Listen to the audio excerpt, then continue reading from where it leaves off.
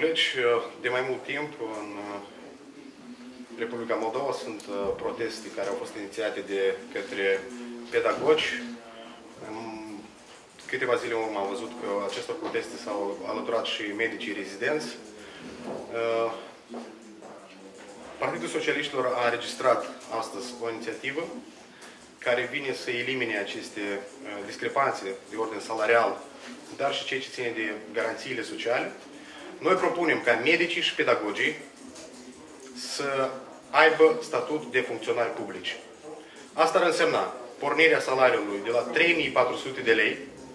Asta ar însemna că cei care sunt cu adevărat buni, care au învățat foarte mult și care practică profesia uh, cu dăruire de sine, să poată beneficia de un salariu mai mare, să aibă garanții sociale mai mari, un chirurg sau un rector, de exemplu, să aibă salariul unui director de agenție. Acest lucru, lucru înseamnă, în primul și în primul rând, eliminarea tuturor discuțiilor parcurs cum, cât și în ce format ar trebui să fie majorate salariile sau care ar trebui să fie garanțiile sociale. Noi considerăm că și pedagogii și medicii, după competențele lor și după responsabilitățile lor, sunt uh, în aceeași linie cu funcționarii publici, iar pe alocuri responsabilitățile lor sunt și mai mari. Ei au de crescut o generație și au de a o întreține în modul sănătos. Uh, repet, în acest sens, ar porni salariile de la 3400 de lei, este o, o chestiune pe care trebuie să o realizăm. Am găsit suportul mai multor uh, fracțiuni. Vom uh, vedea dacă acest lucru urmează în timpul cel mai apropiat să fie inclus pe agenda Parlamentului. Vă mulțumesc mult!